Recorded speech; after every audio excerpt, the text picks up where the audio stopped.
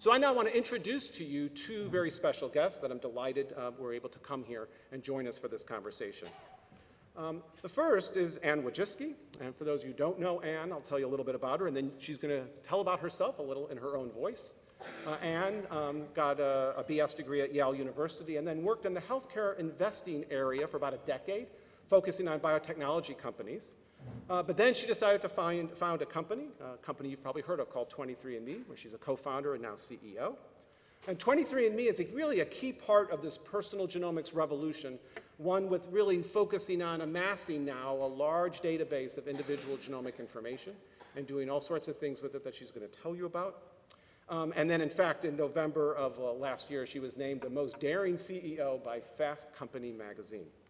So this is what Anne had to say about herself. Being on Wall Street and learning about finance and how healthcare works is really fundamental to everything that I've done because I learned the, the mechanics essentially of the system. Um, so I did it for about 10 years, and then after 10 years, I said, look, like, I, I one, I don't think I'm to learn anything else, and two, like, I, this is not the system that I really want to be part of. Being surrounded by an environment where people were really just pursuing money um, really started to conflict with my ethics and in my values. And I spent a lot of time volunteering in Bellevue Hospital in New York and then at San Francisco General out here. And I, I almost did that as a detox where I'd be on Wall Street and I'd spend all days like trying to monetize you know, obesity. And, and then I'd go into San Francisco General, and it was tragic, the idea of just thinking of these people coming in in sort of a crisis situation or being sick and seeing people with their families and, um, and, and thinking that I'm just thinking about you as a dollar amount like how do I monetize the situation? And, um, and it became pretty disgusting to me. Um, so again, I ended up having, feeling um, like Wall Street did not reconcile with my values. And, um, and I had to leave. And 23andMe really evolved out of that frustration that I think one of the ways that you can circumvent this, essentially this whole system, is through the individual, is that the individual owns their data. And if I can empower you to make a difference in, in your own health, we can potentially really change healthcare. So please welcome me, uh, uh, please help me in welcoming Anne Wojcicki to the stage. Anne, come up, take a seat.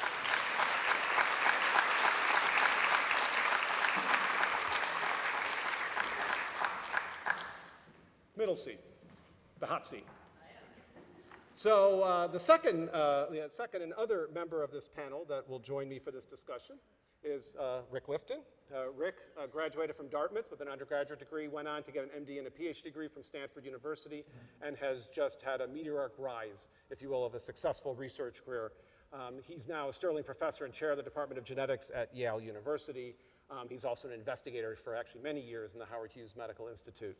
And uh, he is a recipient of many awards and accolades, a small subset of which is shown here. And you can see the American Heart Association and the American Society of Nephrology and the American Society of Hypertension have all honored him because of major advances he has made, in particular, doing the genetics of disorders uh, related to blood pressure, cardiovascular disease, and bone density with multiple wonderful successes uh, credited to Rick and his laboratory.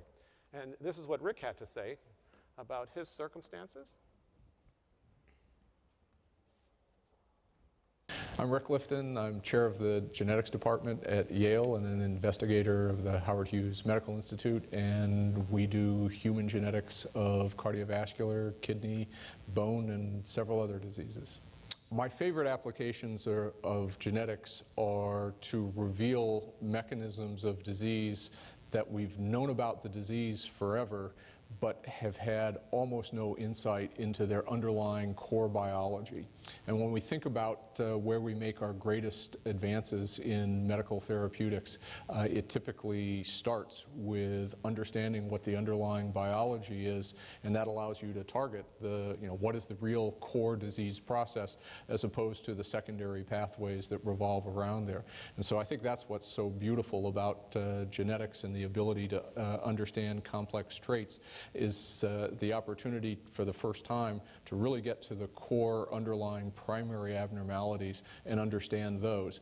Now, of course, those will uh, not necessarily tell you everything you need to know about the disease, but they are incredibly strong starting points for unraveling the pathophysiology. And of course, we expect that these will define what the therapeutic opportunities will be. And we can't predict with any certainty what those therapies will be until we really understand the basic biology. So please help me in welcoming Rick Lifton to the stage.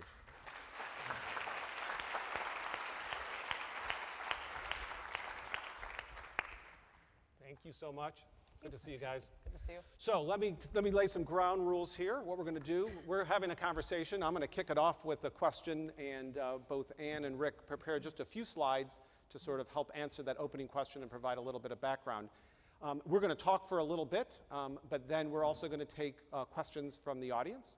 And uh, there will be index cards that will be passed around at some point during this. And uh, you can feel free to write questions out for one or both of them. Um, if you have a really easy question, I'll take it. Uh, if it's really hard, make sure it goes to them. Um, and then uh, we will get to, we probably won't get to all the questions, but my staff over there is going to sort through and try to find the best questions and pass them on to me. And we will have some of the questions then uh, from the audience uh, put before our two wonderful speakers. So, the, what we want to start with, which actually I think is a, is a great way to think about it, I think about this a lot, is you know, we sort of in this decade of, of incredible advances, and we're almost at halftime, right? 2015 will be about halftime. And uh, we knew when the decade began that this was going to be an exciting one, and we sort of see 2020 now, uh, really now only about six years away or something, and soon it'll be five years away. So I'm curious to hear from each of you, and we're going to start with Anne. Sort of in the year 2020, what is going to be the role of genomics in medicine? I tantalized everyone with some of the early examples. Um, but one of the big questions is how quick will this happen? And over the next, uh, you know, five, six years, what is this going to look like when we're celebrating uh, January 1 of 2020 or something like that? So, Anne, you can advance your slides Should you here. do that? Yep. Okay. Um, so I will start getting to that question towards the end, but I will, uh, uh, I'll go through a little bit on 23andMe and, and, and that will sort of touch in here. Um, how, many, how many of you actually have your genome or have been sequenced or? Okay. About 10 or 12? Uh, yeah, yeah, yeah. Um, less than I thought. So, so part of the whole purpose for me of 23andMe is I, I grew up as a, as a child of a scientist, and that science, in my opinion, should be more in touch with the consumer, and, um, and that you actually want to, like you should all be participating. There's billions of dollars that come from your institution, and, and that we should all be following it. Like there's nothing more exciting than actually following science and watching it progress. So 23andMe was sort of born out of that idea of like, how can I actually engage you, the consumer, with this? Um, and, and one of the things that we do is we, you know, like we said, it started out as a $3 billion adventure, and, and we've made it affordable and accessible. So it's direct to consumer, it's something that you can actually afford, it's $99, it's something you can get access to, and, and the idea is like, then you should be able to explore it. And uh, what we have now is 750,000 people who have actually done this. So, so what's amazing here is in a pretty short time period, it's now become accessible and large numbers of people actually have experimented and played with their own, their own genome.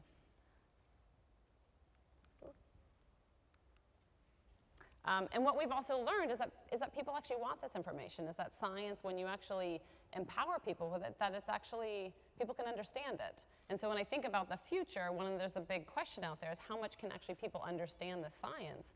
What we find is that the, the average individual actually can be empowered with this information and they can make sense of it. And so here are some of the areas, uh, Dr. Green already touched on these, you know, things that you can actually learn from your DNA, uh, you know, medication response, uh, disease risks, inherited conditions like cystic fibrosis, and then interesting traits, things like uh, you know, lactose intolerance or caffeine metabolism, um, and then things like ancestry. And ancestry includes other fun things like your Neanderthal status, um, which again is part of the things that we've done because it's science that's coming out. It talks about you, that you're not just as much as we're talking here about disease and wellness, you're not just about a disease you know, you have your whole, I mean, the fascinating thing with your ancestry is, is that it's, you know, it's your whole history of you it's your personal history. And that's so cool. Like, how much Neanderthal do you have? And then comparing that to other people. It's, it tells your own personal story. So, what we've also learned with this information is that people get their genetic information and that it does motivate them to change. And so this is a study by Robert Green. It's more of it's coming out soon, but people are getting their genetic information and they're actually showing up to their physician and they actually want to make a change. And I think one of the things that we're seeing genetic information do is that it gets people interested in their health before they're sick. And for all of you, if you raise your hand and you say, well, I'd actually rather, you know, treat my diabetes and prevent it, well, then you're part of the old system. But for me personally, like, I'd rather actually prevent my diabetes. And if I know that I'm at risk for something, how is it that can I actually, you know, prevent it? And I think more and more you're starting to see these trends like Walmart and, and your convenience stores getting involved in healthcare, which is where you go to regularly. So more and more there's going to be more support for a preventive kind of society that's probably going to be outside of the existing medical system.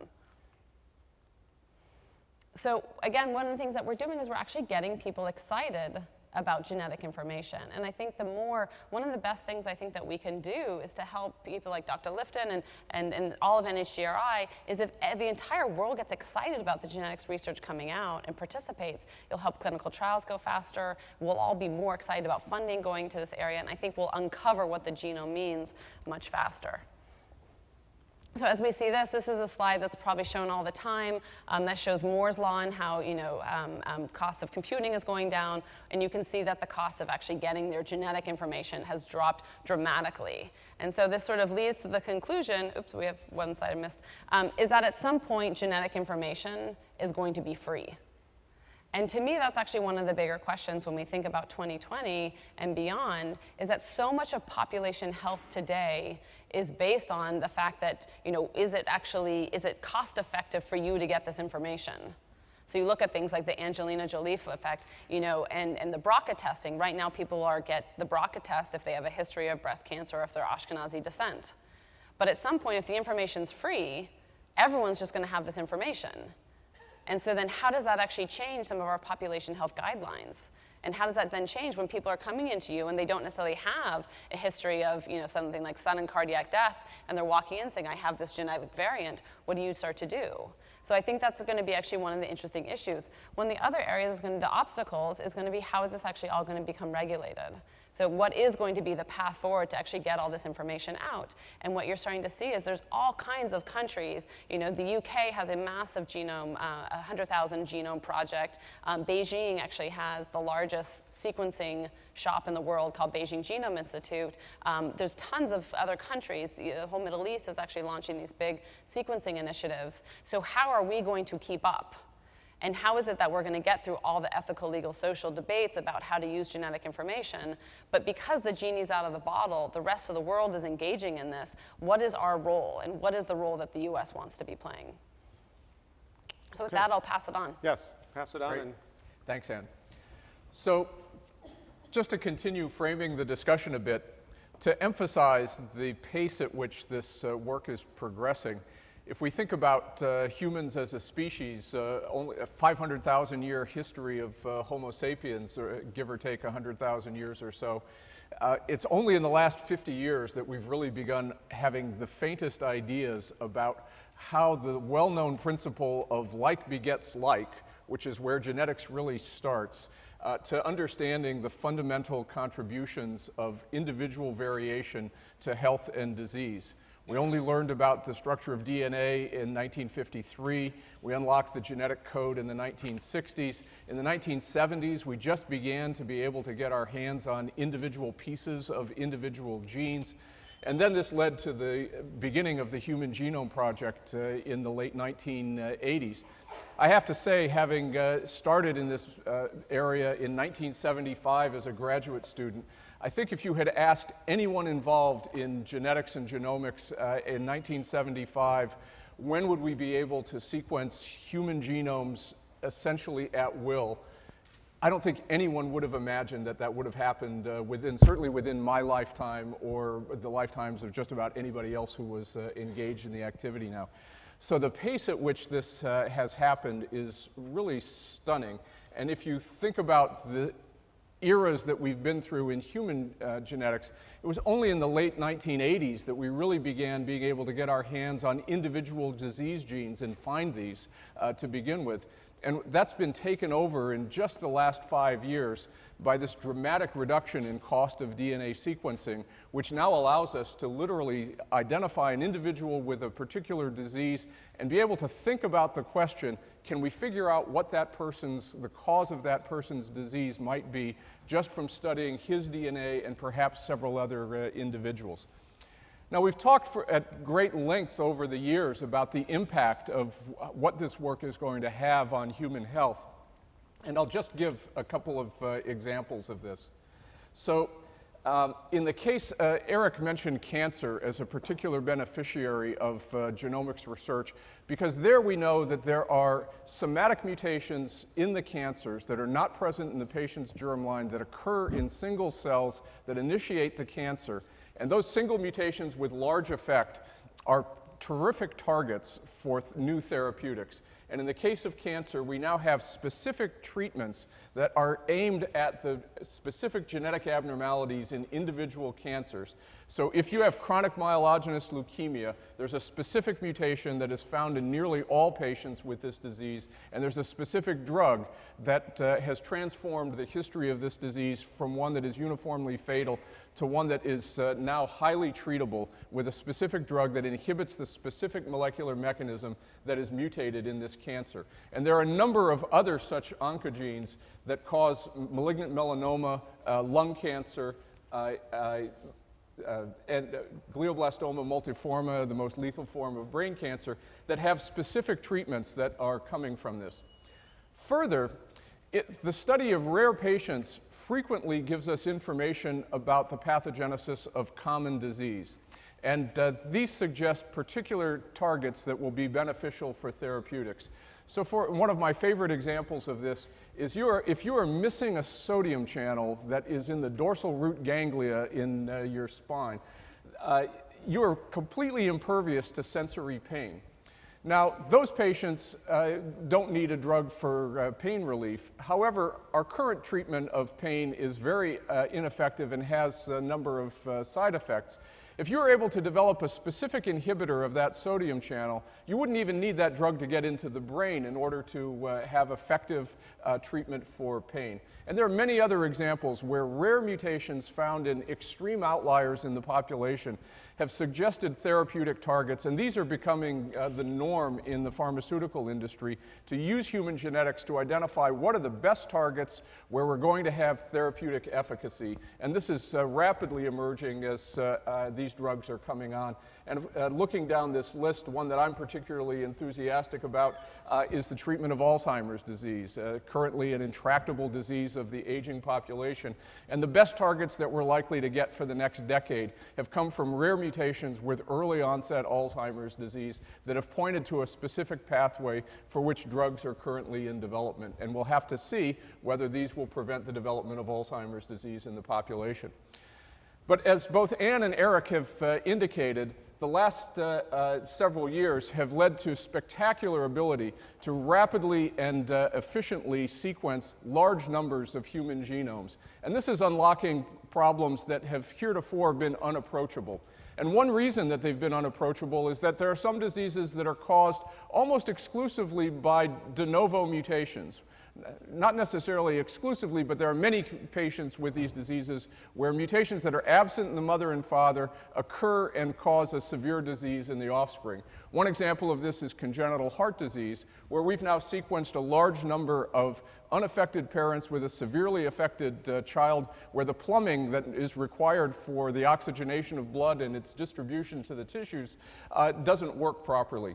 And we've identified a number of mutations that drive this process, and I've identified an underlying pathway involved in modification of the proteins around which DNA in the nucleus is wrapped. Uh, and perturbation in, that, in those pathways are driving uh, this disease in a significant fraction of cases. So, this is one example of the kinds of discoveries that are uh, happening now.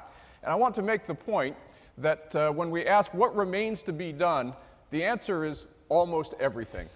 So there are 21,000 protein coding genes in the genome. We know what happens when humans have mutation in about 3,000 of those genes. So you don't need to put a very fine point on it to say there's much more discovery that lies ahead than lies behind. And that just encompasses the 1% of the genome that codes for proteins. When we get outside the part of the genome that codes for these 21,000 proteins, it's really terra incognita. We don't understand the language of genomes at all. If I were to give everyone in this room the sequence of the genome of a mouse, an elephant, and a human, and said, Tell me which one is which, we would be completely incapable without other knowledge of uh, determining which is which. Our genomes are very similar to one another. We all share the generally the same, when we say we all, all in the animal kingdom, share the same core set uh, of genes, and it's how those genes are used that make the difference. We don't understand that language uh, hardly at all.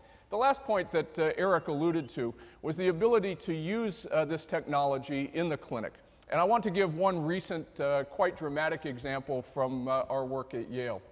So, we were presented with a case of a, uh, 15 day old boy who had uh, severe uh, diarrhea and fever, who was progressing in an, in an unexpected clinical course uh, that uh, the physicians taking care of him in the intensive care unit were concerned that uh, he was not going to survive. He was developing coagulopathy, blood clotting, and uh, loss of uh, uh, red cells and white cells.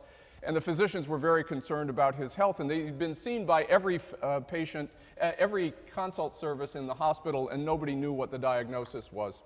So in five days, we turned around the sequence and analysis of all of the protein coding genes in his genome and his parents. And surprisingly, we did not find a new mutation that uh, described his disease, but we obtained the hint that there might be a mutation uh, causing his disease that caused an autoinflammatory uh, disorder, a disease in which the normal inflammatory response pathway was activated in the absence of the normal stimuli for that. Unfortunately, uh, the, day, the day before we obtained our complete analysis, the boy died of uh, pulmonary hemorrhage. However, it came as a matter of great surprise when the next day we learned that his father had been hospitalized at the same outside hospital with uh, high fever and uh, uh, was intubated with uh, respiratory distress. Uh, he turned out to have the same disease uh, that had been undiagnosed his entire life despite the fact that he had been hospitalized uh, in a hospital uh, his first month of life with a syndrome very similar uh, to his deceased uh, child. Because of this uh, mutation that was identified, we ultimately made the diagnosis of a new, previously undescribed autoinflammatory disorder, uh, and he was put on high dose immunosuppression and uh, recovered. And he then revealed that throughout the course of his life, uh, he had had periodic fevers that uh, were up to 104 to 106. They were, all, were always triggered by emotional or physical stress. He re- recognized that with the stress of his son's uh, death, that he was kicking off another of these uh, inflammatory episodes, but thought he would ride it out the way he had every other one that he had had, but ended up with this uh, near fatal disorder in the hospital. So, this is one dramatic example where uh, sequencing both defined a new disease uh, and led to uh, treatment uh, of individuals in the family and has suggested preventive therapy that can be offered uh, these individuals. And I think that's one of the last points that uh, I'll, I'll, add now is that frequently the discovery of the fundamental pathogenesis of disease not only suggests the mutations and treatment, but frequently will suggest prevention. Eric mentioned that we've had a long interest in uh, high blood pressure, a disease that affects a billion people worldwide and contributes to 17 million deaths from cardiovascular disease around the world every year. Well, the mutations that cause this trait uh, converge on how the kidney handles salt, which immediately suggests an environmental interaction with dietary salt intake and blood pressure. And this has led to a recognition that we ought to be able to reduce blood pressure in the population by reducing dietary salt. And there are now 32 countries around the world that have public health programs to reduce morbidity uh, from cardiovascular disease by reducing dietary salt intake, with the scientific fundamentals coming from these rare patients with extreme forms of high and low blood pressure. So, if we look forward to uh, 2020 and beyond, where are we going to be and what are we going to be able to do? The things that seem most obvious are we certainly are going to be sequencing uh, virtually every cancer uh, in patients because those are going to drive the therapies that uh, we're going to give these patients uh, as we move forward. Similarly, we're not going to waste uh, too much sleep wondering whether we ought to be sequencing patients uh, who are in the intensive care unit and critically ill in order to try to make what might be unexpected uh, diagnoses. And there are multiple examples uh, of this uh, happening now. The bigger questions, I think, going forward will be to what extent uh, will the sequence of every individual uh, in the uh, population contribute to their health care? And that's a, a, research question at this point, uh, in my view. There are relatively few in, uh, examples where uh, identification of a specific mutation today we will be able to say, ah, we know what treatment you ought to have as a consequence. The BRCA1 and 2 mutations are wonderful examples where if you have these disease causing mutations, uh, this uh, has very strong implications uh, for how your diagnosis, your future diagnoses and susceptibility to to disease, and we don't yet know how frequently that will in fact uh, be the case. I think it will be relatively uh, modest impact if we tell our, our, patients, have your genome sequenced and we can tell you whether you have a 1% or a 2% risk of developing schizophrenia. That's not the kind of information that we're likely to be uh, uh, going to our physicians for. What we want to find are those mutations that are going to be driving uh, disease. And for that reason, I think quite conservatively, one can uh, imagine that uh, we will be starting uh, in the clinic with uh, diseases that, uh, with patients who have disease or are at high risk for disease. And then newborn screening, I think, is an open uh, question. We now screen in most states in the country every newborn for a handful of diseases ranging from 20 to 40 different diseases. We might do much better than that uh, with uh, genome sequencing uh, rather than the current uh, uh, screening tests that we perform. Uh, but these are questions that we'll have to settle as we go forward. So I'll stop there. Thanks. So that was great. What, what I, so what I want to drill down a little bit, because I think what you touched on, and actually each of you sort of put out something to think about, really I think relates to prediction. Because, I mean, first I want to talk about what's truth, not that we know it, but let's talk about what truth might be, and then we should think about some of these implementation things, because I think there's relevant. I know both of you are very interested in those. But let's, let's focus on truth, because we don't know what truth is, and when we try to use genomics as a tool, as a predictive tool, that's where I know there's disagreement in the scientific community. So, Anne, you made a, a passing reference to you want to know things to prevent your diabetes. And the mm-hmm. question is whether it's diabetes or hypertension, something that Rick is passionate about.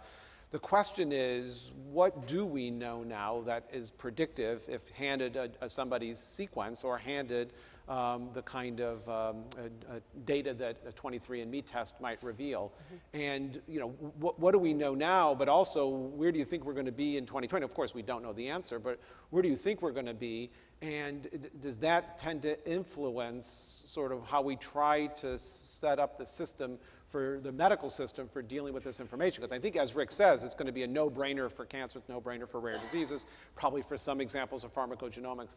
But what about, where I, I know it gets more, um, uh, so we say, spicy and debatey uh, out in the community is really when you get into these complicated diseases like diabetes, hypertension, there's an environmental component, and many genomic contributions. Will we have something predictive enough to really tell us something that can be used for clinical care, especially in the prevention realm? So, mm-hmm. Anne, what do you think? Sure. So, um, so I would say for 23andMe, one of the things that we, we, we were doing, and again, for disclosure, we're not selling our health reports today um, as we're working with the FDA. But in, historically, what we did is we had two sets of information. Information that was what we called sort of the four-star reports that was clinically actionable. So BRCA for the BRCA1 and 2, cystic fibrosis, um, um, associations with uh, pseudocholinesterase inhibitors, for instance, about drug response. So we had that kind of information that there was sort of unrefuted that was known to be uh, to have meaning in the clinic and that if you walked into most physicians, that they should know what to do with it.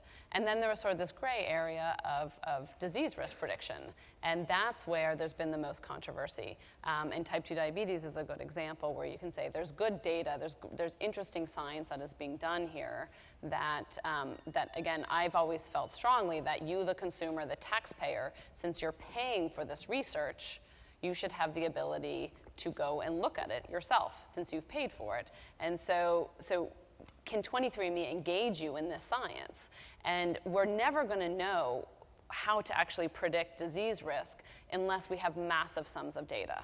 And so one of the reasons why 23andMe has a huge research component is that what we're looking for is how can we actually create this community of tens of millions of individuals and understand which of them actually go on to develop disease, what are their genetic risk factors that they have, and can we actually really develop a risk prediction modeling system that's based on tens and tens of millions of individuals, the genetic information, taking in environmental information, and looking at this longitudinally. Because I think that it is a gray science right now, but in the future, there should be able to be pretty good risk predictions. And again, cholesterol is sort of an example of that. Cholesterol doesn't mean that you're going to get a heart attack, it means that you have a risk factor for it. And I think the genetic, this risk prediction, you might have a thousand genes that put you at elevated risk. We might be able to calculate a score.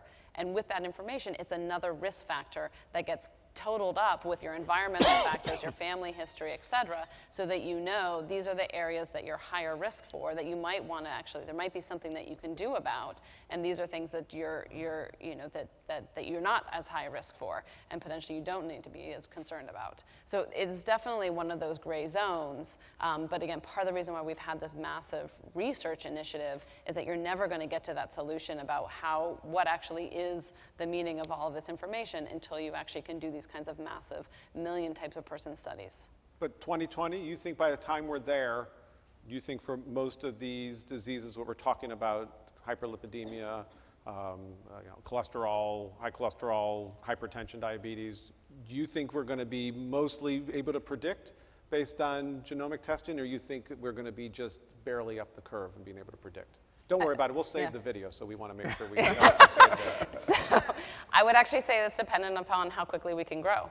I mean, 23andMe last year was on a, a mission to get to a million individuals. If I could hit 10 million people, I think in, in five years, I think we can actually have pretty spectacular risk prediction So that's, so your prediction is that that knowledge can actually be gained if the right study is done? I think completely. I think if you can do the, if we could get 10 to 20 million individuals engaged in research, filling out surveys, we could actually understand genetics and what it's going to mean for your disease risk. Okay, Rick, I have a feeling you're going to have thoughts about this. Well, so um, I'm an optimist, and uh, I want to see uh, the experiments done. And the question is, what are the experiments that uh, one wants to do? Uh, there's been a, a, huge effort associating common variants with common disease, and we clearly have associations. Sometimes they've been pivotal in giving us insight into disease where we didn't have any uh, previously. But in general, these have small effect on uh, disease risk, and so our ability to predict who is going to get disease from these, the assembly of common variants across uh, the genome has been rather modest. And so I think the question going forward is, uh, will rare variation prove to be uh, of sufficient importance to give us better ability to predict? And that's an experiment that has not yet uh, really been done uh, in a comprehensive way for any common uh, disease. Uh, and this is, these are experiments that are going to be done over the next uh, five years for, I, I, would expect, for virtually every common disease. As you go down the list, uh, we're going to be sequencing large numbers of individuals. And the key question is, how large is large? What is the number that we're going to need to, uh, in order to actually believe that we have tested the hypothesis? And the current estimates are probably that it's going to require in the tens of thousands of individuals for each disease that we're uh, interested in.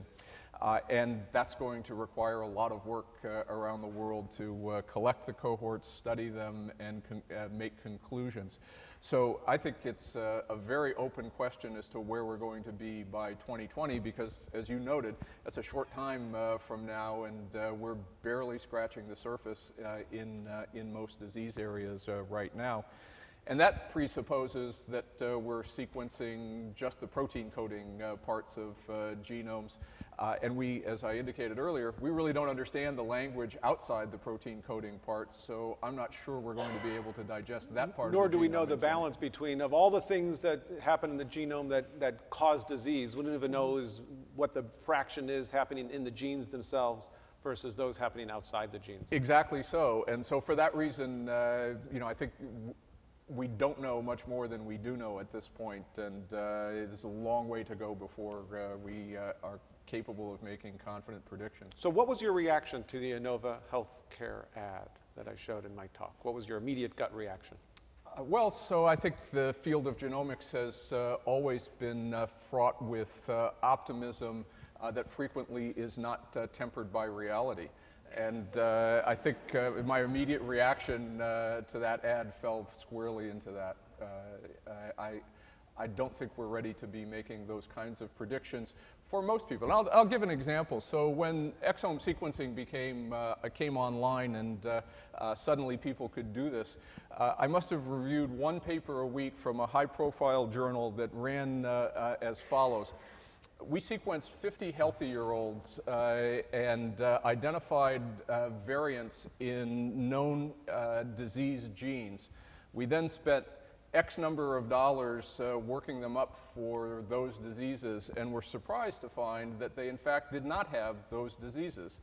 And of course, this reflects a lack of knowledge of Bayes' theorem, that if the prior likelihood of a healthy 50 year old having a lethal uh, genetic disease uh, is extremely low, if you find a variant in that gene, the likelihood that that's a disease causing variant is probably very unlikely.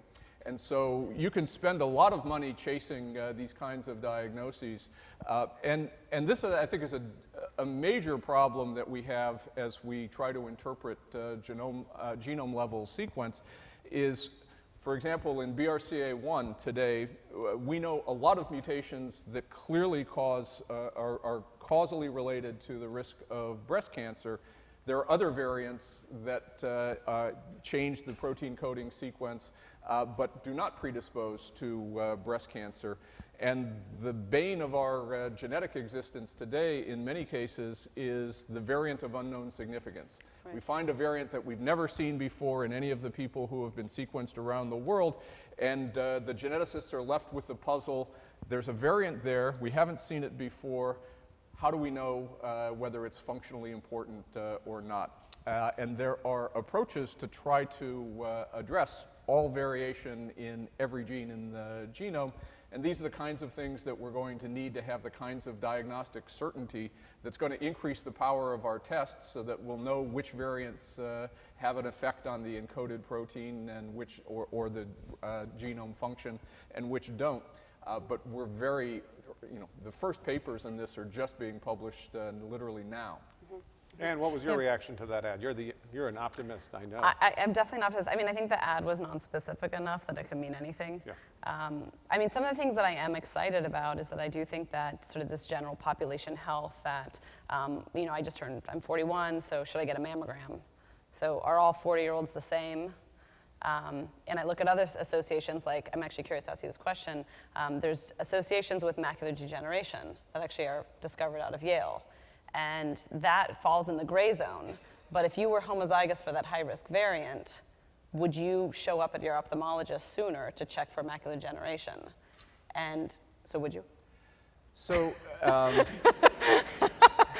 And you don't have to tell your age, just because she's bragging up here, you don't have to do that. Because we were both once 41, weren't we? so, so, so this is actually not a theoretical question. Uh, my father uh, had retinitis pigmentosa, and uh, he was from, uh, his uh, parents were from the same small village uh, in Russia, and uh, it was no surprise that uh, he was pro- probably, his parents uh, had distant relationship to one another, and uh, he was homozygous for one of the genes causing uh, retinal dege- degeneration. Um, and I was actually faced with that question of, do you want to know? And my father went, uh, uh, had a productive life, uh, had to retire early because of his blindness, he progressed to complete inability to see in his 70s. Um, and I made the conclusion that, drew the conclusion that he had had a productive uh, life and uh, I, would you, would you, how differently would you want to behave if you knew? And for me, the question was, is there something that you would do about it uh, today? And I'm very enthusiastic about uh, things that you uh, have some ability to change. Um, at that time, there was no treatment for uh, uh, the disease other than laser uh, zapping of the lesions to try to uh, prevent them from progressing. Um, and I decided that I didn't want to have eye exams at that point. So Uh, I think individuals will vary in uh, how they respond to that. ApoE4 and Alzheimer's uh, disease today is uh, a very practical uh, uh, example of this. Uh, allele frequency around the world is about uh, 17 uh, percent. About 4 percent of the population will have two mutant copies of this gene. And if you have one copy, you'll get Alzheimer's disease on average eight years earlier, and if you have two, 16 years earlier. And practical question, do you want to know? And uh, currently, there are no useful treatments that we know of that will uh, prevent uh, progression uh, if you are an ApoE4 uh, uh, carrier. Um, and I think individuals will vary in uh, their Right. response to Right. that. And in general, in my experience as a physician, uh, patients really want to know if there's something that can be done, and if there's not, uh, it's a very mixed uh, Right. impression. Right, but one of the things I think that will be interesting is with population health guidelines, so things like macular degeneration or with breast cancer, can I actually get more specific guidelines for me that are based on my genome? Sure. And that's when I start to look at like some of these new, new, um, you know, prevention diagnostics that are coming out that are very expensive. You know, if all women didn't have to get a mammogram, one, that's great for me, but two, that's a big cost savings. And so I look at things as well, like macular degeneration, where it's in that gray zone now still of information, but I can see that actually being a really valuable risk prediction tool to say this group of individuals, not everybody actually has coverage with an ophthalmologist, but if I could actually send these people at 50 to go and get screened, and there is now a treatment for delaying and actually stopping the progression of macular degeneration, the cost to society of blindness is very expensive. So can I find those individuals who are homozygous and actually get them involved in front of a physician much sooner? And I think that is like, as much as that information is the gray, that's the kind of thing I think that 23andMe could actually start to validate by having this community-based research project and then start doing these types of population health studies to say, yes, like I can get these people in ahead of time and actually try and prevent the disease before it actually really becomes costly to society. One, one of the things I worry about a lot in these situations is managing expectations. And I, of course, like the idea of getting com- community-based research involvement the way you describe it. But do you, are, are we convinced people see the distinction between being involved in research and actually having what they perceive as getting as truth? I mean, my, my reaction to the commercial when, it, when I first saw it was at first it was like, oh my gosh, they're talking about genomics, isn't this fantastic? And then by the end of it, it was, oh my gosh, they are really subliminally implying some things that many people may not sort of appreciate is not really here and now. It's the promise, but it's not reality. I worry a little bit about g- getting people involved. Will they interpret um, sort of the excitement of doing a study as being the new way that you should make life decisions? How do we, So I how do think those are two strike diff- that balance? I think it's two different questions. So one thing for us is getting our customers to understand how much we just tested them for. So for instance, if I just tested you on 50 different carrier statuses, so including cystic fibrosis and a whole host of others, how do I get you to appreciate the fact that we actually just screened you for all of this and that we did not find any variance there? So one is like getting you to realize that there's all this information. One of the things that um, we have done is we include this whole section on traits is that traits are actually really fun for people. So if I can tell you what your likely eye color is, or I can do things like caffeine metabolism, every one of our customers gets something. And they love that. Like they love thinking about lactose intolerance or um, caffeine Everybody loves metabolism, thinking about lactose ancestry. intolerance, well, but it's interesting. It's actually interesting. So like I look at things like my child who, you know, was having stomach pain and then I looked into the genome. I was like, "Oh, you're genetically likely to be lactose intolerant." Like I'll just try out that that lactose-free milk. It's a relatively, it's cheaper than going to the doctor. Um, so like, and it, and it seemed to work. so, so I think those are things like, it's just, it, it kind of just fits in with your life. And I think that's part of it is I think part of the reason for the success of 23andMe is that we can give everyone some kind of piece of information. And I think that the research, I think one of the things that we have found is that people, um, you know, you look at Susan G. Komen and Livestrong, and there's this like goodwill sense where people want to contribute to the world, but we kind of make it hard. And in part, one of the insulting factors that I found on Wall Street is how we treat people like a human subject. And again, you have the Henrietta Lacks up here. Like, it's kind of insulting how you are in a clinical trial, we get as much from you as we can, and then you are deemed too complicated to ever return any results for. There's not a single federally funded study that returns the data back to the, the genetic data back to the subject. And I find it kind of insulting even just to be treated as a subject. So part of what 23andMe has tried to do is humanize it. And we do all kinds of research studies. Like we did a big study on, we've done now the largest study on human sexuality. And no one else, like it's going to be tough for me to get an NIH grant for that, but it's one of consumers actually wanted that. And if you don't want to participate, you just don't take the survey. And if you want to participate, you take the survey. And you look at the success of this ALS Ice Bucket Challenge, and you imagine, like, if you had a family member with Parkinson's disease and you could email out to all your friends and say, take this Parkinson's survey, you're going to contribute to real research that's like then you can really make a difference and i think that's part of what we've done. So the customers like they have their information that's their meta like their information of their genetic data what they should do and then these surveys about like what is it like how can i answer the questions? What are the genetic associations with type 2 diabetes? Why is it that, that it says i have this genetic risk factor but i don't have a family history? How can we actually understand that? And that's the responsibility of 23andme to keep innovating on that and make sure it's clear to customers that we don't know everything. There's this fascinating world of gene and environment. And the more environmental information we can learn, the more we can understand of how your genes interact with your environment. And then we should be able to give you better information about actually how to manage your health. So this is all about what, what truth is going to be, as I said earlier, what, what we're really going to learn through whatever means, whatever studies of the interaction of genomic variation and diseases and traits and the environment and so forth. And now I want to talk a little bit about implementation, the real world. And I'm going to start with Rick as a practicing physician, uh, geneticist, and uh, someone who deals, in some cases, with rare diseases, but much of your career has also been looking at very complicated common diseases such as hypertension. Uh, but you encounter patients and uh, you don't have hours with them, but you know, project to 2020.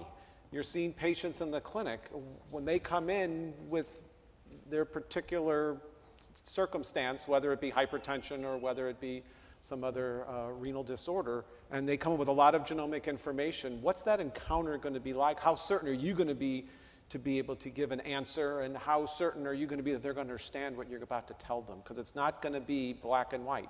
It's going to be some shades of gray.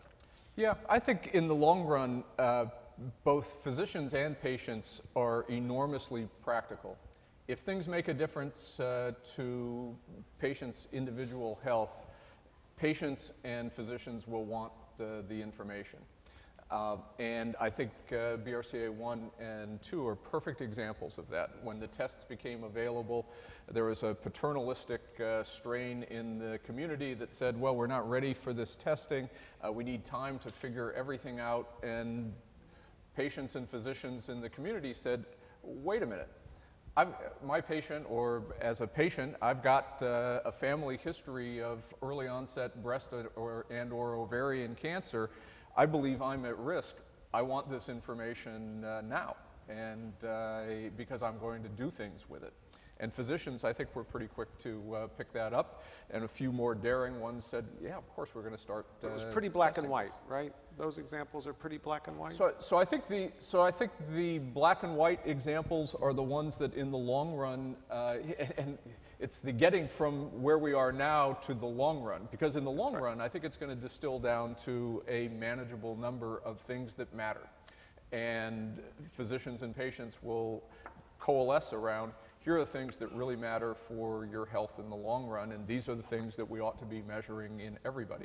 We have a rather shaky period going from where we are today to that point where there's going to be a lot of uncertainty as to what uh, individual variants mean in individual uh, patients.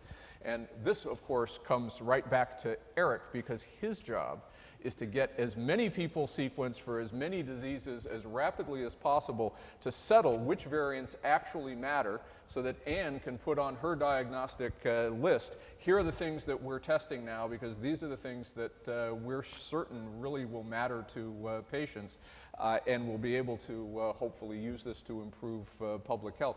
But I think we, we will have a, a very, a period in the near term where we will have a lot of variants of uncertain significance. Which is why I'm picking on 2020, because mm -hmm. I mm-hmm. think, you know, I share the, a lot of the optimism that we'll eventually understand a lot of this, but we it will be an awkward phase. So 2020, though, think about you know, our medical colleagues and our pharmacist colleagues and our nursing colleagues and genetic counselor, you know, they're either in training now or they're out there in practice. And it's just a tsunami of uncertainty. I think the BRCA1 is an easy example, but I purposely pointed to hypertension Yeah. diabetes. I know it's going to be gray for a while, and yet some of it will start percolating in.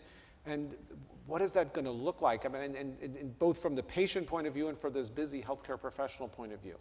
Yeah, I think it's going to be uh, quite taxing in, in many instances, and I think we need to be prepared for uncertainty. Right, we're going to be dealing with uh, a fair degree of uncertainty in many cases about what the significance. Uh, and for this reason, uh, this is where I come back to my earlier comment. I'm most enthusiastic about uh, using this technology for people uh, who either we have good reason to think they are at risk or they are presenting with a particular disease.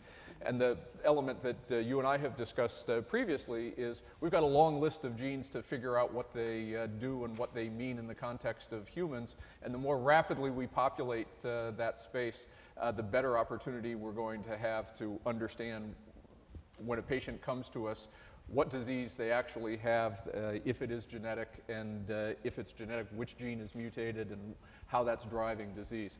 Another element that we haven't touched on uh, uh, yet is uh, the potential impact of all the information coming from electronic medical records and the ability to uh, uh, do very large amalgamations of that data with uh, genomic data. Uh, and uh, this, again, uh, poses both opportunity as well as uh, enormous challenge for trying to make uh, all of this uh, coalesce onto uh, into new knowledge pathways that will benefit uh, public health. And as you know, we're very interested in that and research going on actively to try to see what that future is going to bring. Uh, so, Anne, I think you alluded to this. I mean, are the great discoveries in the next five years going to be in the United States? Or are we at risk of, of losing our lead on this? Uh, so I, I definitely there's two things. So one, I'll answer that, and then I wanted to go back to your Sure. bus question. Um, so I do um, I do really fear that the U.S. is going to be falling behind. Um, because there are um, major initiatives going in a lot of other countries. So the UK has their 100,000 genome project. Um, like I said, Beijing Genome Institute has just a massive, it's the world's largest sequencing shop. Um, you look at other countries like the Netherlands, where they actually have some of these massive half a million person um, studies where the medical records already are integrated. Um, and I think that's where we have this dream and this fantasy of actually having all electronic medical records integrate. But I actually haven't. I mean, raise your hand here if you've ever downloaded your medical record, or if you've ever used. Oh, some of you. Anyone ever used Blue Button? Oh, we've been looking for you. Um, um, so, so, I mean, that's part of it is that trying to find people who are actually uh, getting this data is hard because medical records are not really integrated. And that's part of the problem with not having a single patient identifier in this country and actually really being able to get all this data. But there is massive potential for, for doing these types of studies. And I look at in the Europe, I mean, the UK, they have like this million woman study where it's just like this one woman who runs a study and they just have amazing amounts of data. So I do worry that at this, at this time, because we don't have a clear path for actually how we're going to do these types of massive research studies, and, and there has actually recently been a hold on some of these research studies, like um, there's BabySeq, for instance, there's this big um, sequencing program where they want to sort of you know, understand the approval, pro- the regulatory process before they're going to return all this data back to the individuals. So I think that right now we're really kind of stuck because we don't know the right way to deliver all this information back.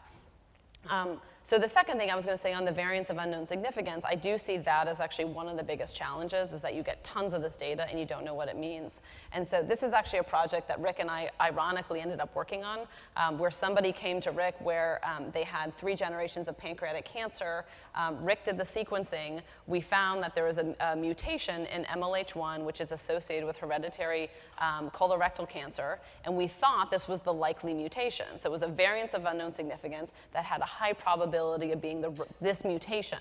And what 23andMe did is we took that mutation and we looked back in our database and we said, oh, we have 157 other people with that same mutation.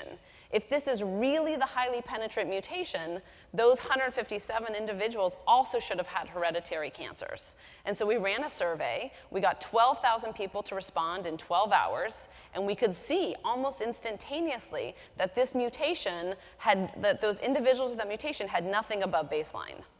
And so we could conclude then with a high degree of probability that this variance of unknown significance was likely not the causative mutation for this hereditary pancreatic cancer. And so this is something that 23andMe is looking to do more and more is that it's not our job to mine all the data. We want to be the sort of the representing the consumer, so we are looking at ways that we can actually make our entire database accessible to people like Rick, to you, to all researchers in the world where they can run a query in the database and they can instantaneously see is this variance of unknown significance? What is being found in other individuals like this?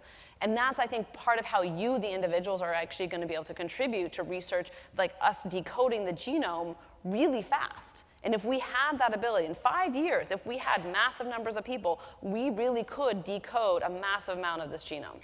So I could want to completely agree with this point. If uh, we sequenced our individual genomes today, the best annotation tool that we could possibly have for understanding uh, what is interesting or potentially actionable in it is to know the sequence of every, not just everybody else in this room, but a million other people.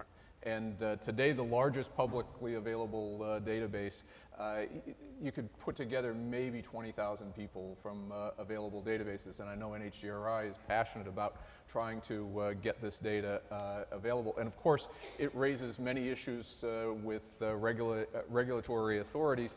And I think it is one of the, these, it will be one of these individual responsibilities where we will need individuals to be willing to make their data in some way uh, accessible uh, because we all will benefit uh, to the extent that everyone makes their data uh, accessible uh, to be able to correlate genotypes with uh, phenotypes. And I think that's critical. Getting back to your question about you know, how the U.S. is faring, it, we're in a somewhat ironic time when having spent uh, enormous uh, taxpayer dollars uh, since uh, the end of World War II for basic biomedical uh, research that has led to this point where we are today, uh, that we are now in the throes of uh, cutting back on our investment, uh, on our public investment uh, in research, uh, at just at the time when the fruits are most likely to benefit the public. And I think this is a, a, poor decision to be making at this time. And we need to reverse it.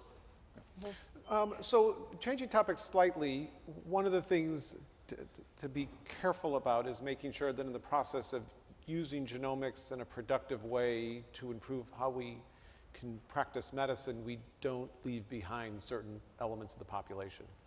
So health disparities, is, is you think genomics is going to exacerbate or reduce health disparities in, in, in America and elsewhere in the world? Mm -hmm. Um, not an easy topic, I it's realize. It's not an easy topic. Um, I mean, it's, it's a couple things that we've done. I mean, part of the whole um, mission for 23andMe was the accessibility and the democratization. So at $99, um, there's a massive difference between us and the entire genetic testing field. So we've tried very hard to make this information accessible for individuals and we're trying very hard to make it so it's understandable that it's easy for people that it's you know you just go online and you order it. Um, i do think that one of the differentiating factors is going to be um, when you get your information you show up to your physician. And if your physician doesn't know what to do with it then it's a challenge. So i think there's two things.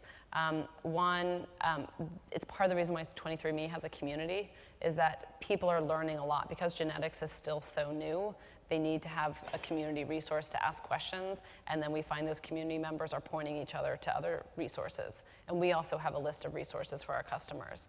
Um, I think second, I think you're going to have to have things like telemedicine, where you're going to have, you know, we have a partnership with Informed DNA, a group of genetic counselors that are trained on all this genetic information. So it's again relatively inexpensive, but then someone from their home can then go and get this information. But I think it's a challenge, and it's part of the reason why we've put in, we're starting to put in significant resources into education because most of the medical community is not educated about genetics.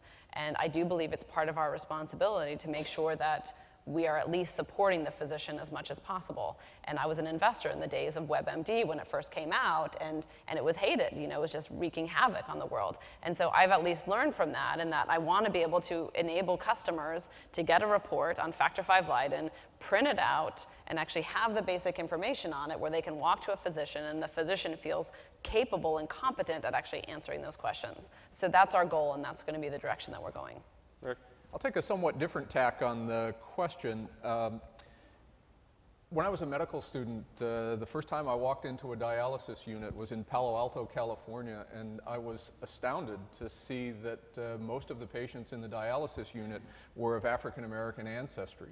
Uh, because Palo Alto at that time, uh, African Americans constituted a small fraction of the population, and yet they dominated the dialysis population. And I asked uh, the attending physician, what, what's the explanation for this?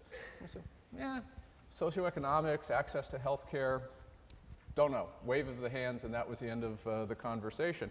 But it was something that uh, was persistent and stu- uh, stuck with me over the years. And just recently, in uh, 2011, uh, a really remarkable study came out that provided an explanation that this major health disparity uh, is actually genetic in origin. And it turns out that uh, if you have uh, one copy of the uh, particular variant, variant in a gene called ApoL1, uh, and you live in Africa and are exposed to trypanosomes, you're protected from development of trypanosomiasis, and that's a very beneficial thing to have. But if you have two uh, copies of the allele uh, you, uh, of that variant in ApoL1, uh, you are likely to end up on dialysis uh, at age 50 uh, or 60. This was a mystery that was completely unknown, and, and people dealt with uh, what's the origin of this uh, health disparity for a very long time until this genetic explanation came forward. So I think there's a path uh, forward there to actually address one of these health disparities. And of course, the challenge now is to understand uh, the pathogenesis, how this variant in ApoL1 translates to this uh, predisposition uh, to uh, end-stage uh, kidney failure. Uh, but is a nice example of, an ex- of where in genetic discoveries have the opportunity to reduce a healthcare disparity in a rather dramatic way. Yeah. So do people get screened for that? No? Well, so right now it's in that, uh, uh, that gray zone of uh, we, we don't really know what to do. And it's, it's a very recent uh, finding, but it clearly has a very large, unlike uh, many common variant studies, this has quite a large effect on uh, uh, risk of disease and clearly is of importance. I just looked down at one of the questions, and I don't know if you want to extend any more, but specifically related to this, where they wanted to ask you, what do you envision 23andMe can contribute to discussions on health disparities for various populations?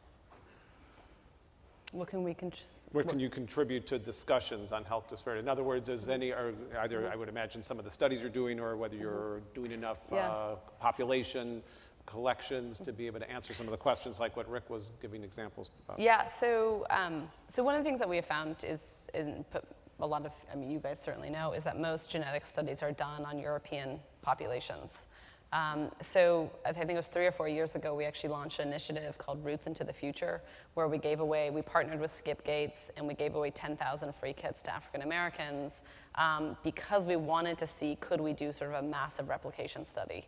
So could we um, find, you know, this, you know, this type 2 diabetes or factor 5, like all these genetic variants that are found in European populations, do they replicate in the, in the African American populations? So 23andMe, I think, has, has recognizes that genetic studies are, are, are not done in all populations. And again, I think it's part of where we, um, we tried to rectify it at least a little bit there by having this sort of major initiative. And, and when we gave away 10,000 free kits, we found then that each family member then goes and they get other family members to start to, to, to sign up as well. So then it actually expanded it quite a bit. Um, but that it's important for us to make sure that the genetic information is, is relevant and meaningful to all populations. And today it is, is decidedly not.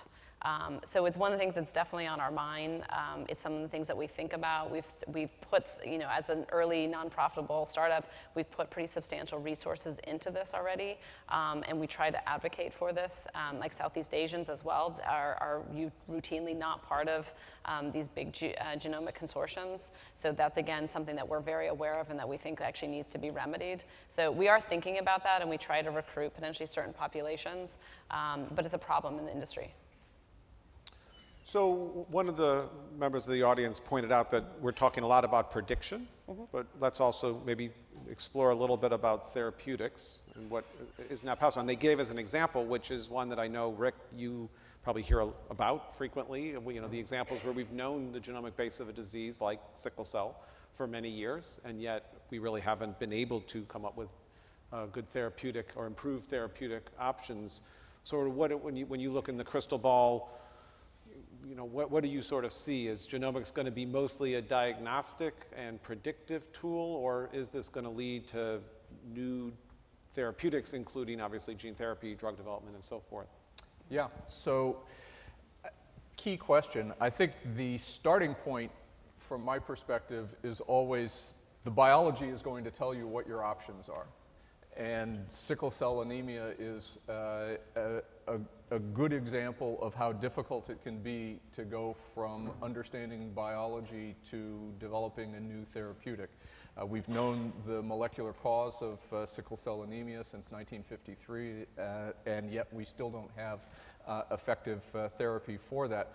And part of this gets uh, to the nature of what the gene is and what the specific mutation is and what would be the path uh, forward. So some of the examples that I gave in cancer where we've gone in stunningly short time from identifying a mutation that's driving a particular form of cancer to a new therapeutic has occurred specifically because the nature of the mutation suggested a, an immediate path to therapy. The genes in cancer that uh, I illustrated were types of mutations that cause increased activity of, uh, of a particular pathway and suggested immediately that we could turn off that particular pathway and have a beneficial effect uh, on the development of that cancer. Much more difficult are situations where you have lost the function of a particular gene or protein and then are trying to figure out how to reactivate that gene or some downstream pathway. Uh, and that's frequently much more vexing. Similarly, structural proteins are very difficult to figure out how to uh, deal with uh, their replacement. So, thinking about uh, potential magic bullets uh, going forward, uh, there gene therapy is always, uh, you know, it's one of those uh, areas uh, that the, the future is uh, always just around the corner. Uh, and uh, I think that we haven't really cracked that nut yet. For trying to correct genetic mutations, there are, I think, quite promising technologies that, you know, as you know, just over the last year, the development of general approaches uh, for either knocking out gene function or potentially replacing, uh, uh, correcting specific mutations with technology called CRISPR technology, which came from basic biomedical research identifying a fundamental pathway used in bacteria uh, to ward off invaders, uh, has really quickly caught on in uh, the biomedical community and is being widely used. And there are potential uh, therapeutic approaches uh, using this that clearly are not likely to happen uh, immediately, but are of the sort that uh, are clearly getting a lot of interest in, uh, uh, in the public. So I think the bottom line is we don't know what we're dealing with until we understand the biology. And as I always tell I, my students and fellows, uh, the surest path to therapy is uh, understanding the biology. It's just not the case that every time you understand the biology, it's going to immediately suggest a therapeutic. So, Anne, one of the people in the audience is uh, asking questions about privacy issues. I am quite sure you've thought about this. Sort of what are some of the, do you think we're properly situated mm-hmm. in the United States to deal with a lot of genomic information on a lot of patients in their electronic health records. Mm-hmm. Do you think this is something that's going to come and backfire, or do you think we need a better framework for, for putting that future together? I mean, I think in electronic medical records, it's, I, I wouldn't say I'm as much of an expert in that, um, but I think that in general, um, genetic information is sensitive information, and um, I think it's, it's in some ways, the consumer just needs to be really informed with the fact that it's, it's impossible to de-identify you from your genetic information.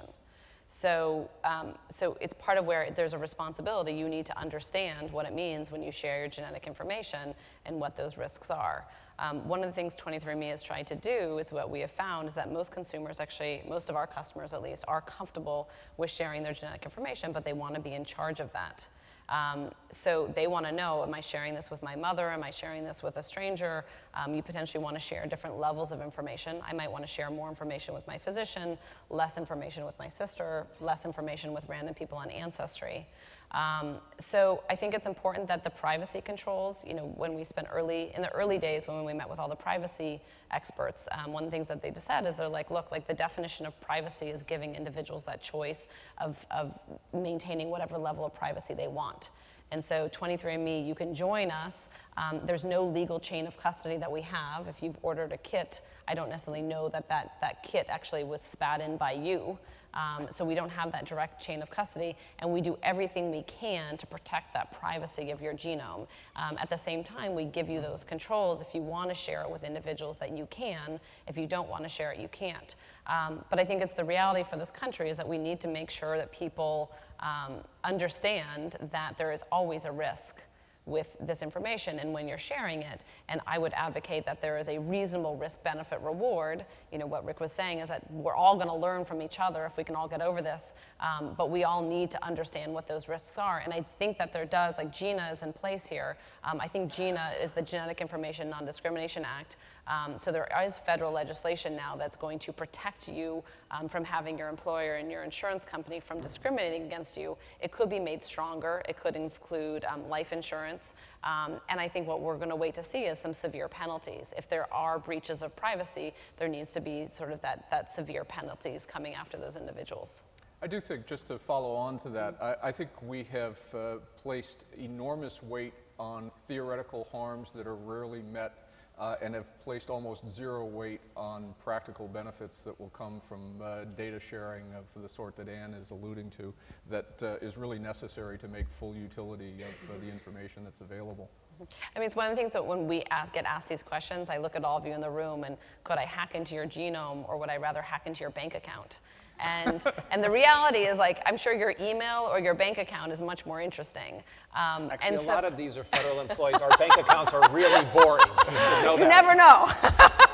so, so it's still that there's more of that incentive, and there is a lot of really great, sophisticated technology that's evolved that we're able to copy, and we're able to sort of understand what is it that they do in the banking industry with your mail, other things that we can then emulate with um, with 23andMe. And actually, the team that originally built the, the infrastructure for 23andMe was a, a group that had come from PayPal that were specifically from that banking industry and brought that kind of security obsession. So it's clearly important, and again, I would agree with Rick. Like, it's that risk benefit. We worry so much about the theoretical, but there's a massive benefit to society if we actually all can pool our data together. And I think that's also part of the reason why we have 750,000 people pretty quickly that they'll all come together, and 80% of them are consenting to research and sharing information. So, Rick, uh, uh, another question came in. This is a person who is clearly going to be recruited to be one of your reviewers next time you're up for a Hughes evaluation, which I know is a very stressful evaluation that comes in. So, they said hypertension, which you've spent much of your life studying, is a challenging example, but we can easily and cheaply see if a person is suffering from it, and there are large numbers of effective drugs. So, why do we need genomics at all to study hypertension? Terrific. So uh, when I started, when I started uh, working on hypertension, I chose to uh, work on it specifically because it was one of the common diseases that, as I said, affects a billion people. And when uh, we started our research on it, it was passionately debated as to whether hypertension was a primary disease of the heart, brain, kidney, adrenal gland, or vasculature. And as a consequence of that uh, inexact uh, uh, understanding, uh, Two-thirds of patients uh, with hypertension are in, inadequately treated, and we continue to have 17.5 million deaths annually around the world from cardiovascular disease, remains the leading cause of death worldwide. Uh, the rare outliers that we studied with extremely high and extremely low blood pressure settled a question that uh, probably only uh, the salt uh, lobby really uh, wanted not to be answered, which is that the, the kidney is a central regulator of long term blood pressure by determining how much uh, salt is reabsorbed by the kidney. And the impact of this is it has immediately suggested how you might want to try to attenuate uh, the age dependent rise in blood pressure that occurs in Western societies by modest reduction of uh, salt intake. And uh, as I mentioned, 32 countries now uh, on the, as an accumulation of knowledge implicating uh, renal salt reabsorption uh, now have modest reductions in salt intake as a, a uniform goal for the entire uh, population, which uh, is modeled to, uh, uh, and, and in the UK, there's evidence has reduced cardiovascular mortality, morbidity and mortality. So if I combine a couple of questions related to education, I want to ask each of you, do you think the big, the bigger challenge is going to be in educating and preparing the healthcare professionals for this future? Or is the bigger challenge going to be preparing uh, the patients and the general public for genomics and its use in medical care? Or is it going to be a tie? Anne, I'll let you go first. I, I, I think it's going to be the physicians. Are gonna be Um, harder. Yeah, no, I think the physicians are harder. And I had. Um, and, and other healthcare professionals. and other healthcare yeah. professionals. And I think part of it is that, you know, we had, at one of our early conferences, we had a physician stand up and, and say, look, the biggest problem with 23andMe is that you generate non-billable questions. And, um, and I think that that's actually true, is because there's not, um, you know, th- we've seen doctors make lots of changes when there's a massive reimbursement incentive. Um, so LASIK for was one example. You know, when everyone was getting their eyes cut, people made a ton of money off that. So everyone learned that new technology. There's not a lot of money to be made off genetics. So it's it's hard to justify with such a busy world that you already have. Why is it that you're going to learn all this information? Um, and I think that physicians have been generally, um, you know, it just hasn't been taught. It's not really taught that much in medical school, or it's taught just about things like cystic fibrosis. Um, so this, it's a whole new class of information to learn. And what we find is that um, no one cares, you know, from the consumer perspective, no one cares more about your health than, than you. And if your genetic information is all about you, and you're worried about how you can stay as healthy as possible, and you see your family has a history of one thing or a history of other, you're really motivated to learn as much as you can about you. And that's, that's where I think what we're seeing is like our customers are, are really get educated. Um, you know, we have these videos that called Genetics 101. It's a YouTube series, and we have over a million views on these videos collectively. So, so people are people want to understand this. And so I do think that you have more of an in, in, incentive because it's about you versus the physician, where it's, it's part of your workload, and there's not a reimbursement structure to really support that right now. So Rick, are all the Yale first-year medical students watching these videos and getting educated about? No, no, I could seriously, trace them back. I'm curious what you think about, it, wh- uh, what- what's going to be, where's the bigger challenge going to be, the public or healthcare professionals? I think they evolve uh, uh, just about in parallel in my experience. And I go back to BRCA 1, where uh, I think patient, patients and physicians, patients were a little bit ahead because of exactly Ann's point that it's me, it's my family, and I really want to know. Uh, but patient, physicians were pretty quick to pick up that this was practical and important and made a difference. And surely uh, physicians currently uh, in, in medical care don't have huge amounts of time to uh, spend with each individual uh, patient, and so they're going to be focusing on main effects, right? What are, what are the things that actually are going to matter uh, most to long-term health of, uh, of patients? And I think to the extent that things matter, people will be uh, uh, paying appropriate attention to that. Certainly in the first year uh, uh, Yale Medical School curriculum, uh, we teach a lot of genetics now. Genetics is, you know, there's, there is no better framework for understanding human biology today than focusing on uh, the diseases of every organ system from what happens when you have a specific mutation and you take one, you know, essentially one piece out of this working uh, what happens? It's a wonderful way to organize a curriculum. And how much has that changed in the last decade, that curriculum? Uh, so I think uh, in medical schools around the country, it's, it's quite uh, uh, common now to have uh, aspects of genetics and genomics tie into almost uh, every organ system uh, because it provides such a special way of understanding the biology of what happens when you mutate this gene and why does uh, you know all of the secondary consequences evolve from this primary abnormality. Okay, we're, we're winding down and we want to end uh, at an appropriate time to have a break before the next panel. So I'm going to ask each of you one more question. The question is, um, when thinking about everything we've discussed, what keeps you up at night? And Anne, your answer can't be the FDA. You have to come with something other than the FDA.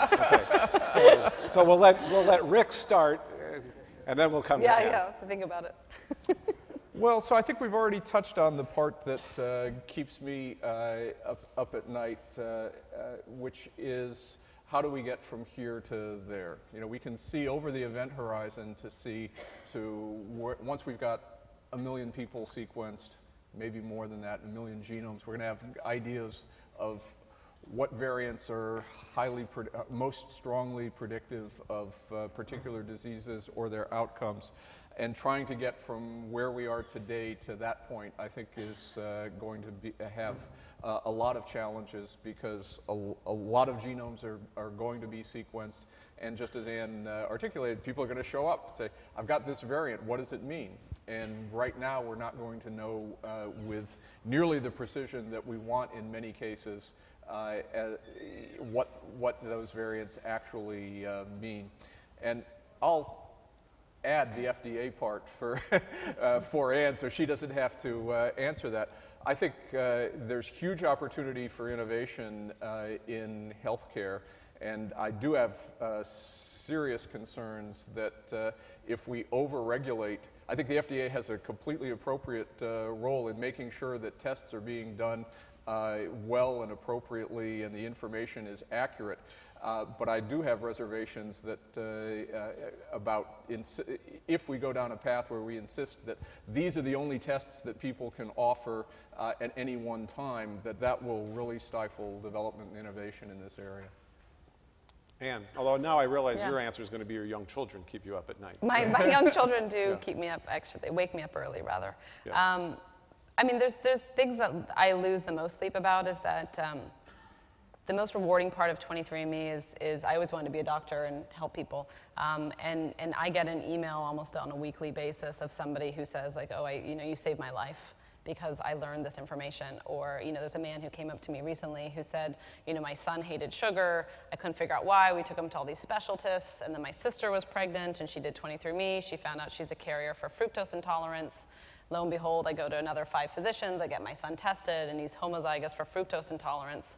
He can't absorb fructose, and that's why I hate sugar. It's normally only detected in their 20s once they actually have severe disease. And so this little boy, like we, we've just impacted his life. We prevented him from actually having this disease.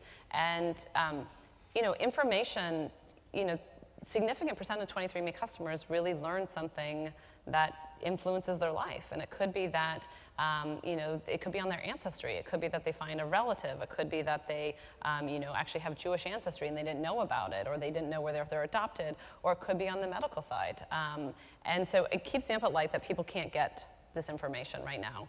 Um, and I think more than that, I, I'm impatient. Like I am, I'm 41, which is young, but it's also sort of old. It's actually disgusting, but that's okay. but I, I really like I, I feel this, um, you know, this, this, this pressure. And I, I was looking back for this talk. I was actually looking back at where were cell phones 10 years ago, just to look at that delta. And you know, and it was like the old flip phone. Like that was really hot, like having like one of those StarTACs. I Um, just got rid of my flip phone like six I months know. ago. Don't admit that. Um, so, and then I compare that to the iPhone 6, which just came out. And then I think about, well, we want that same kind of evolution to happen in genetics. And, and so, how are we going to get there? And, and at this current pace of funding individual little studies, it is not going to happen, frankly.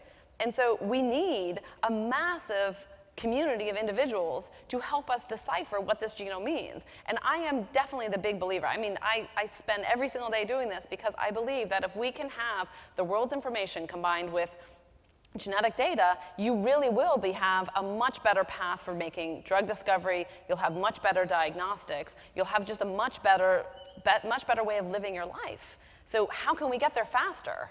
And, and I don't want 23andMe being the only one sitting on this data. I want to enable every researcher in the world to get access to our data. So when I think about what keeps me up at life, like I want to empower this revolution.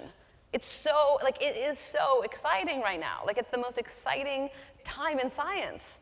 And, and I just, like, we're on the cusp. We're just slowly getting there. And I want to see it happen faster because I'm impatient. Yeah. So, Thanks. so I, and I would say, uh, in case anybody's interested, what would keep me up at night, actually, in some ways, is exactly what you were just saying, but brings a different dimension. Is that this incredible, enthusiastic opportunity, but also knowing that not only we have to do a lot of things right to make this happen in, here in the U.S. in particular, we also have to convince the next generation that being part of this revolution at many different levels, whether it's as a healthcare professional, as a researcher, whether it's a, a data science expert, we need them to come into this and embrace this as part of their professional career. And I'm just, I, what I lose sleep about is then seeing them be discouraged uh, because of a, a, a, a decaying support for biomedical research in the United States and, and seeing other opportunities that seem much more exciting to them. That, I, I really worry about the workforce in the next generation because I think without the, you know, well, some of us on this panel aren't as young as you, and uh, the next generation are going to be needed to really see us through uh, some of the things we talked about today. So we, we need to change the course and make sure they get enthusiastic, and some of your infectious enthusiasm needs to be uh, part of what they bring into their profession. So, so we will uh, please thank uh, Anne and Rick for a wonderful conversation.